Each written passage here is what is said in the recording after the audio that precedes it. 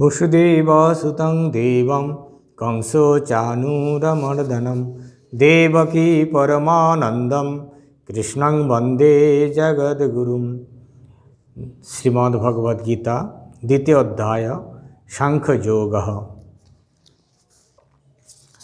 रागद्वेषविजक्तैस्तु विषयानीन्द्रयैश्चरन् आत्मवैश्वर्यविधे आत्मा प्रसाद अधिगछति আত্মা প্রসাদম অধিগচ্ছতি প্রসাদে সর্বদুঃখানাম হানিরস্য পূজায়তে প্রসন্নচেতসো হ্যাসু বুদ্ধি পর্যবতিষ্ঠতে নাস্তি বুদ্ধিরযুক্তস্য ন চাযুক্তস্য ভাবনা ন চাভাবয়ত শান্তির অশান্তস্য কুতः সুখম ইন্দ্রিয়াণাম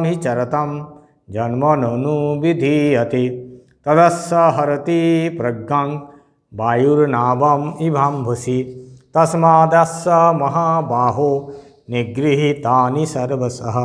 इन्द्रियाणि इन्द्रियार्थेभ्य तस् प्रज्ञाप्रतिष्ठिता यानि सा सप्रभूतानां तस्यां जागर्तिसंयमी यस्यां जागृतिभूतानि सा निशा पश्यतो मुनेः। आपूर्जमानम् समुद्रमापविशन्ति यद्वत् तद्वत् कामाजं प्रविशन्ति सर्वे। स शान्तिमाप्नोति न कामकामी। विहाय कमाञ्ज सर्वान्, पुमांश्चरति निष्प्रियः। निर्मम निरहङ्कार स शान्तिम् अधिगच्छति। एषा ब्रह्मस्थितिः पार्थ, नैनं प्राप्य विमह्यति स्थित्वा स्यमन्तकालेऽपि ब्रह्मनिर्वाणमृच्छति इति श्रीमहाभारते शतसहस्रां संहितायां वैयासिक्यां भीष्मपर्वणि श्रीमद्भगवद्गीतासु, उपनिषत्सु, ब्रह्मविद्यायां योगशास्त्रे श्रीकृष्णार्जुन संवादे सांख्ययोगो नाम द्वितीयोध्यायः।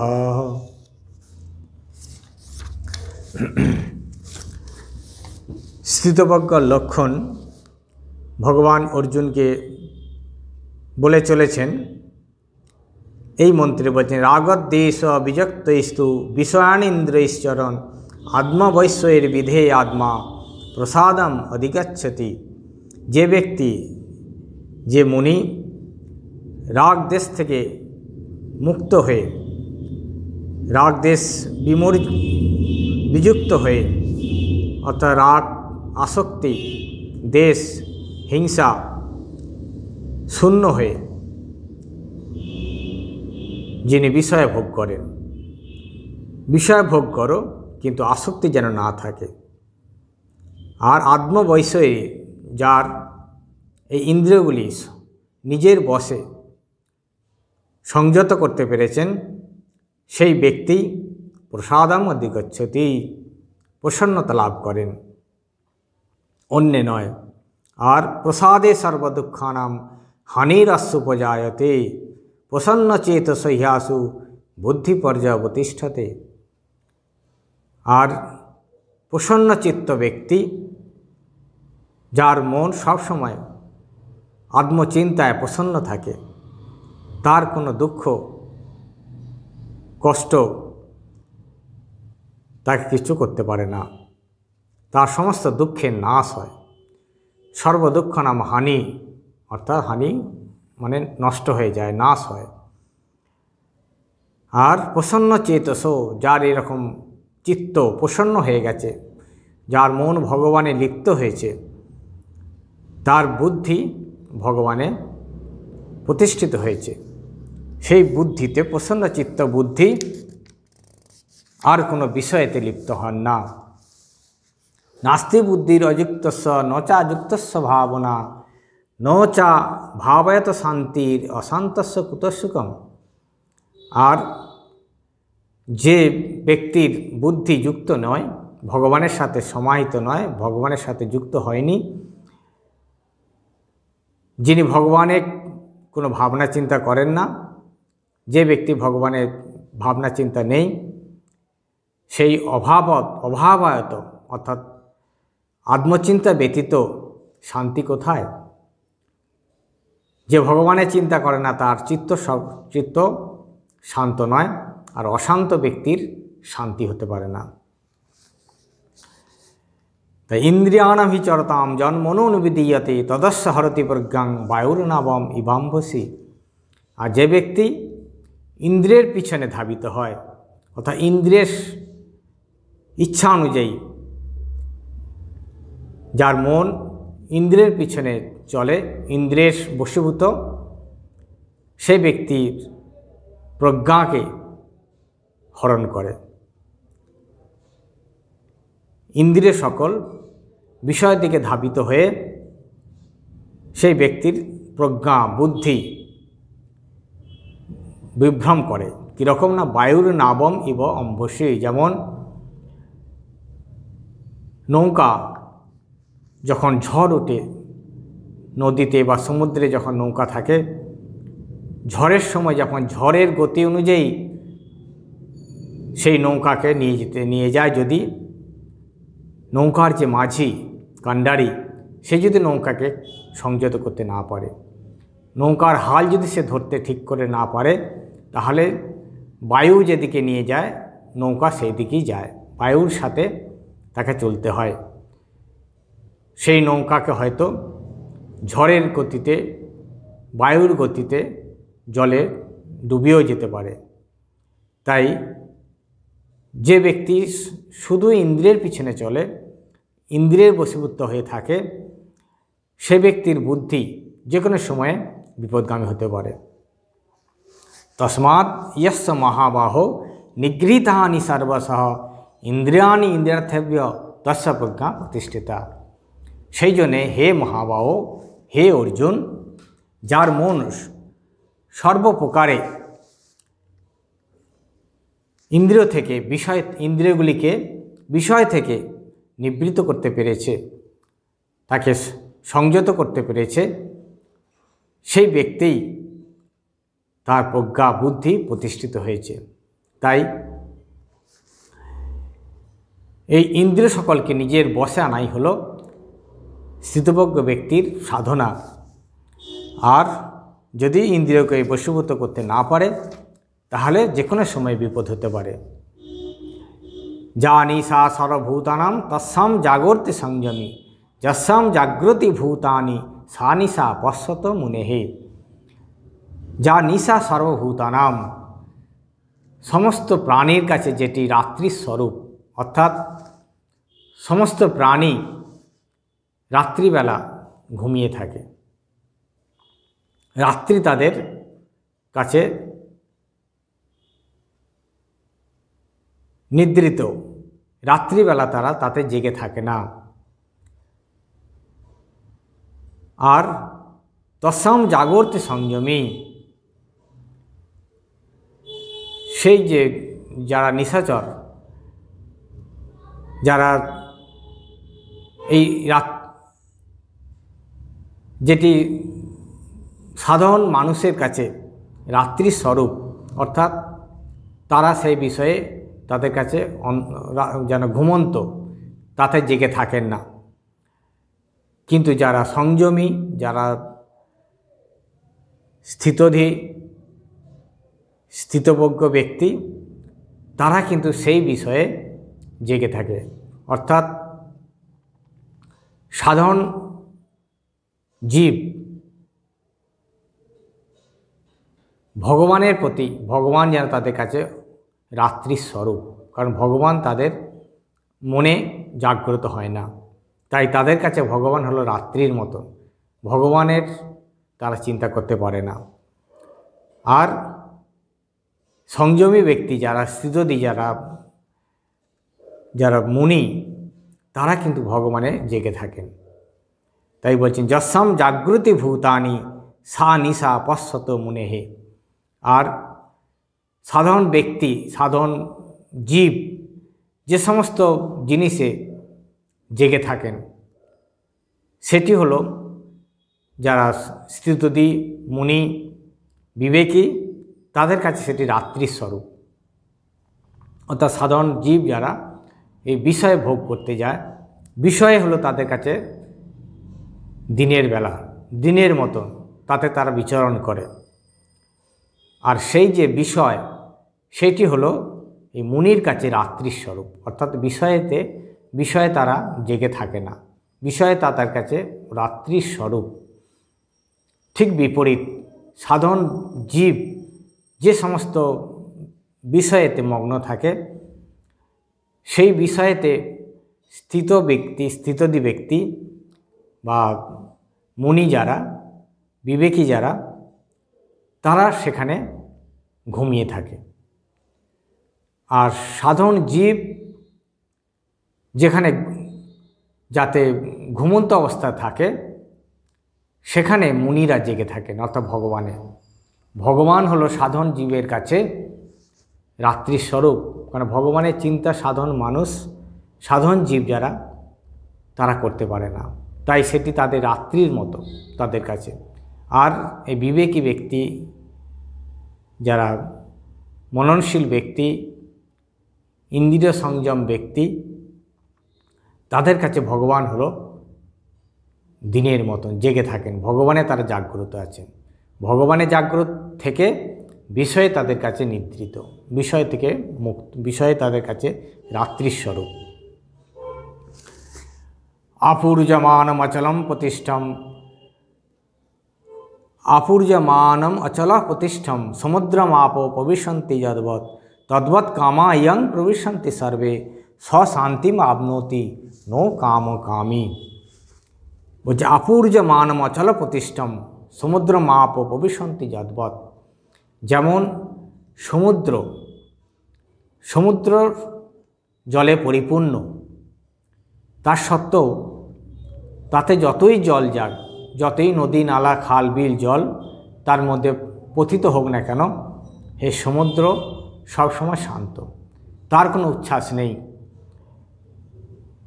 তার কোনো বিক্ষোভ নেই বা তার কোনো সেই নদী, নালা, জলেতে তাকে বিক্ষুব্ধ করতে পারে না, জলোচ্ছ্বাস করতে পারে না। হাজার হাজার হাজার হাজার নদী সেই সমুদ্রে পতিত হচ্ছে। কিন্তু সমুদ্র প্রশান্ত গম্ভীর। তদ্বৎ কামাজাং প্রবেশান্তি সর্বে স্বশান্তিম আবনতি নো কাম কামি তেমনি যারা সংযমী ব্যক্তি, যারা স্থিতদী ব্যক্তি, মুনি, বিবেকী ব্যক্তি, তারা যতই বিষয় বাসনা, কামনা তার মনকে প্রলোভিত করুক না কেন, যতই বিষয় সে বিষয়ের প্রলুব্ধ করুক না কেন, কোনোভাবেই তাকে বিক্ষুব্ধ করতে পারে না। এই সমুদ্রের মতন প্রশান্ত, গম্ভীর, যতই প্রলুব্ধ আসুক, যতই বাহ্যিক চাকচিক্য তাকে প্রলোভিত করার চেষ্টা করুক, যার ইন্দ্রিয় সংযম হয়ে গেছে, যার বশীভূত হয়েছে, যে ব্যক্তি ভগবানের মনকে নিবিষ্ট করতে পেরেছে, যে ব্যক্তি জেনেছে ভগবানই সত্য, আর কোনো কিছু সত্য নয়। তাই ভগবান ছাড়া যা কিছু যতই তাকে প্রলোভিত করুক, নাম, যশ, প্রতিপত্তি, কামনা, বাসনা, কোনোভাবেই তিনি প্রলোভিত হন না। তিনি সবসময় শান্ত, সমাহিত। আর বলছেন স্বশান্তিম আপনতি নো কাম কামী। সেই ব্যক্তি একমাত্র শান্তি লাভ করেন। যার মনে কামনা, বাসনা রয়েছে সে ব্যক্তি কিন্তু পারে না। যার মনে কোনো কামনা বাসনা নেই, কামনা বাসনাকে ত্যাগ করে প্রশান্ত হয়েছেন, প্রসন্ন চিত্ত হয়েছেন, এবং ভগবানের মনকে নিবিষ্ট করতে পেরেছেন ভগবানকে সত্য বলে জেনেছেন, সেই ব্যক্তিকে কোনোভাবেই আর প্রলোভিত করতে পারে না। তাই বিহায় কামাঞ্জ সর্বান পুমাং চরতি নিষ্পৃহ নির্মম নিরহংকার স্বশান্তিম অধিগচ্ছতি। তাই যে ব্যক্তি এরকম নিরহংকার, অহংকার শূন্য এবং নির্মম, মমতা শূন্য হয়ে সমস্ত কামনা ত্যাগ করে, আসক্তি ত্যাগ করে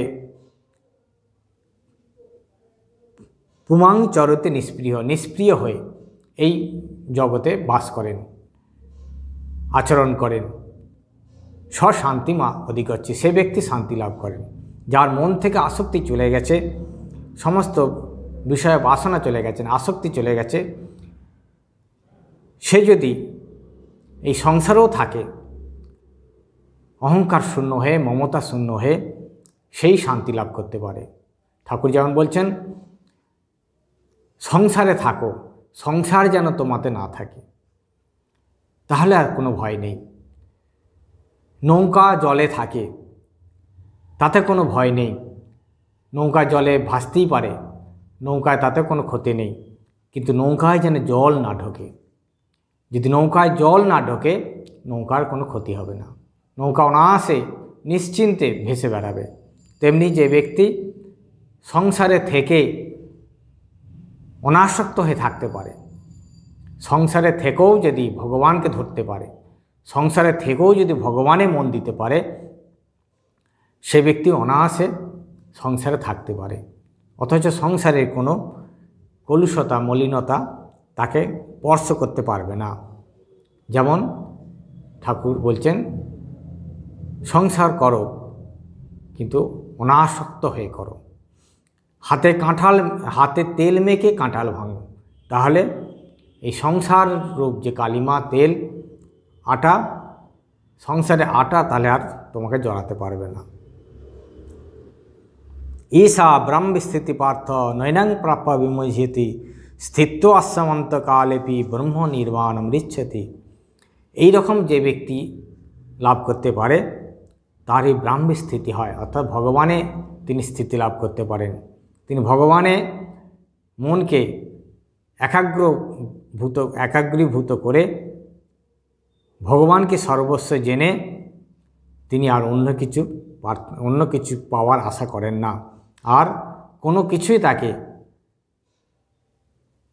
বিমোহিত ন বিমোহিয়তি, তাকে মোহগ্রস্ত করতে পারে না।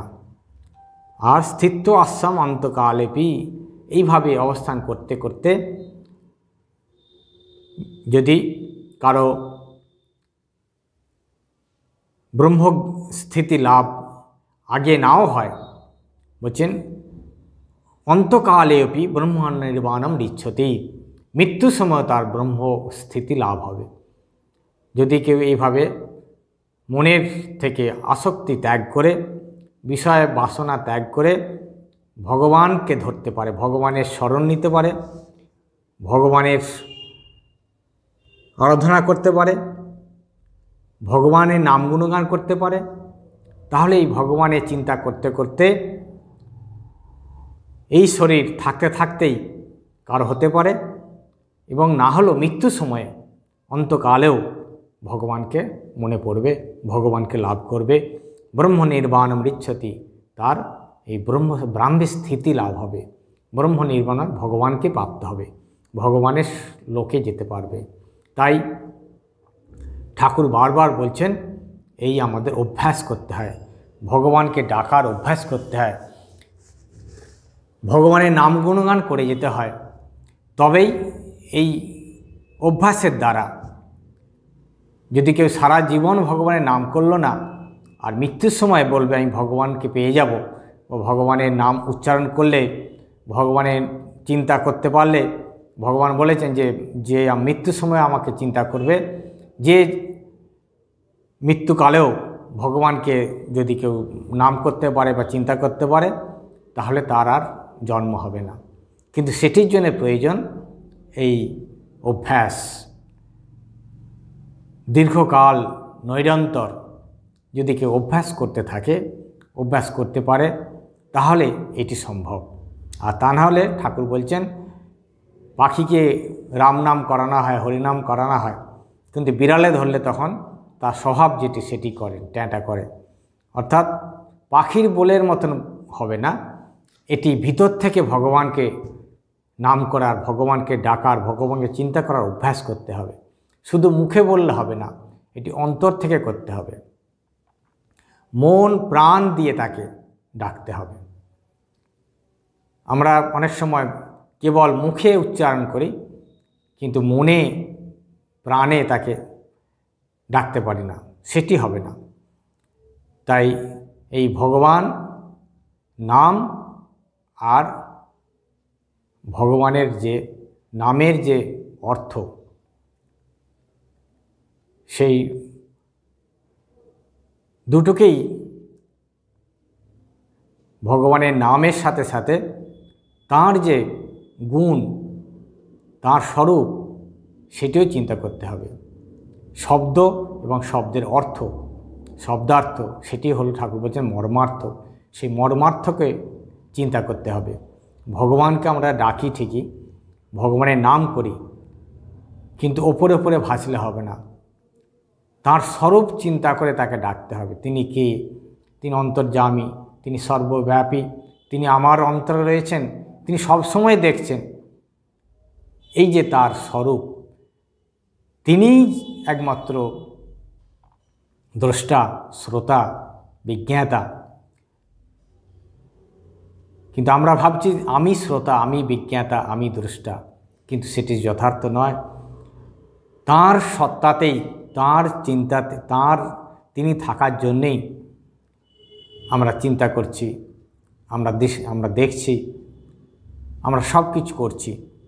তাই এই ভগবান যে তার নাম, রামকৃষ্ণ, আমরা রামকৃষ্ণকে ভগবান ভাবি, ভগবান বলি। রামকৃষ্ণকে যখন বলছি মুখে, তিনি কে? তার স্বরূপ কী? আর তার সাথে আমার সম্পর্ক কী? তিনি কোথায় থাকেন? কি করেন? এগুলি আমাদের নামের সাথে সাথে এটি খুব প্রয়োজন। তাই এটি হলো সাধনা। এই সাধনা করতে করতে আমরা যদি চেষ্টা করি একদিন না একদিন ভগবানের এই স্বরূপ প্রাপ্তি হব, ভগবানকে লাভ করতে পারব। ভগবানের ব্রাহ্মী স্থিতি লাভ হবে। ওং শান্তি শান্তি শান্তি। হরি ওম তৎসৎ। শ্রীরামকৃষ্ণার পুনমস্তু